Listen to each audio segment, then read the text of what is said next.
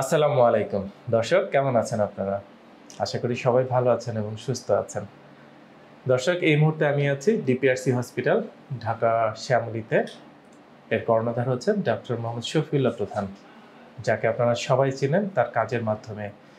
যিনি দীর্ঘদিনে তার যে অতীত অভিজ্ঞতা, সেটা কাজে লাগিয়ে হাজার হাজার মানুষকে ব্যথামুক্ত করেছেন, সুস্থ স্বাভাবিক জীবনে ফিরিয়ে এনেছেন।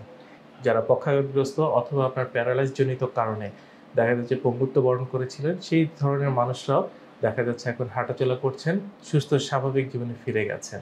এরকম অসংখ্য উদাহরণ আছে। ঠিক তেমনি আজকেও আপনাদের সামনে নিয়ে এসেছি আমাদের আরেকজন ভাইকে, যদিও উনি একজন প্রবাসী ভাই। সমস্যাটা খুব বেশি দিন না, গত প্রায় এক বছর যাবত হঠাৎ করেই ওনার কোমরে ব্যথা এবং সেই ব্যথাটা একদম পায়ের নিচ পর্যন্ত চলে যেত। ডিফারেন্সিয়াল ডায়াগনোসিসে যেটা ধরা পড়েছিল সেটা হচ্ছে যে ওনার পিএলআইডি এবং ওনার লাম্বারের ডিসপ্রোলাপস ছিল। আসুন দর্শক একটু ওনার সাথে কথা বলি।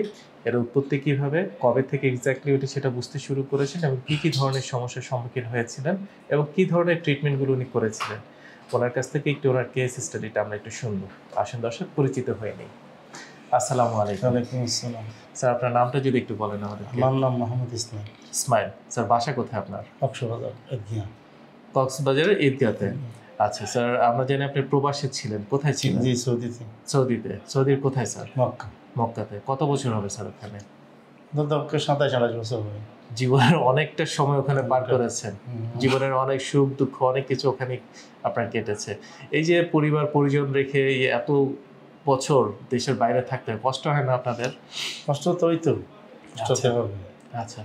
স্যার আমরা জানি যে আপনি আপনার কোমর ব্যথা জনিত সমস্যার জন্য আপনি ডিপিআরসি হসপিটালে এসেছিলেন। ডক্টর মাহমুদ শফিউল প্রধান স্যারের আন্ডারে থেকে ট্রিটমেন্ট নেওয়ার জন্য। এই কোমর ব্যথাটা ঠিক কতদিন আগে প্রথম শুরু হয়েছিল? এক বছর এক বছর আগে। কোনো অ্যাক্সিডেন্ট বা কোনো দুর্ঘটনা কোনো কিছু মনে পড়ে? কোনো কিছুই না। হঠাৎ করে একদিন দেখছেন ব্যথা।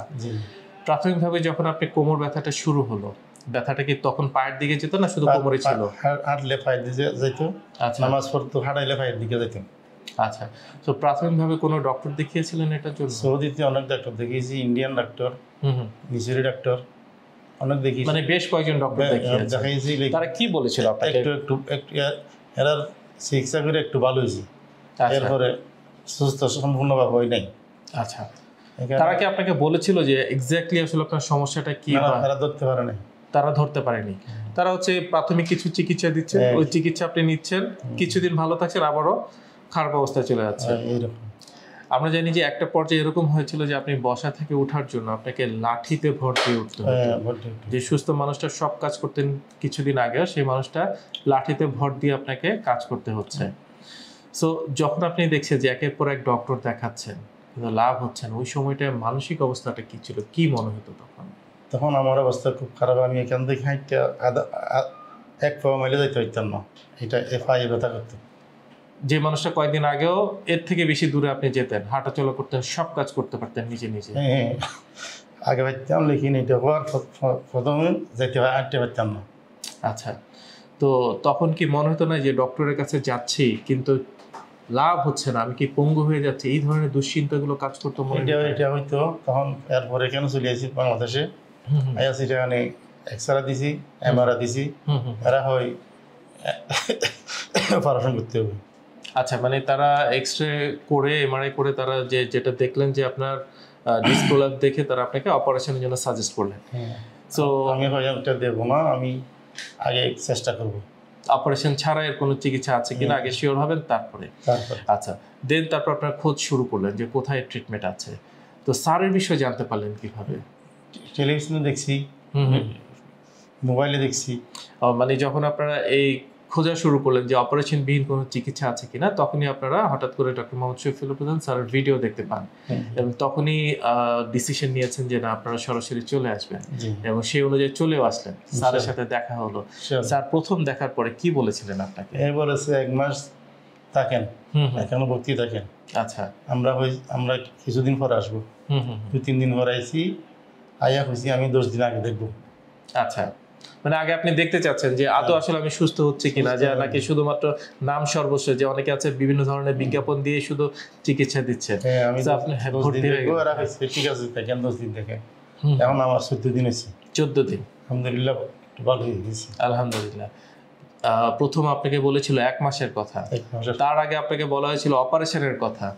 সেই অপারেশন থেকে সরে এসেছেন এক মাসের জন্য ভর্তি হতে বলেছে স্যার। কিন্তু আপনি আজকে চোদ্দতম দিন। আলহামদুলিল্লাহ কেমন আছেন আপনি? তার মানে এত দূর থেকে যে আসা সেটা আপনার সফল হয়েছে। ব্যথামুক্ত আছেন। এখন কি আপনাকে বসা থেকে উঠে দাঁড়াতে গেলে লাঠি হ্যাঁ। দরকার পড়ে? আলহামদুলিল্লাহ। স্যার অসংখ্য দর্শক আছেন যারা এই মুহূর্তে হয়তো ক্যামেরার ওপাশে। জানেন না বা মনে বিভিন্ন সংশয় আছে।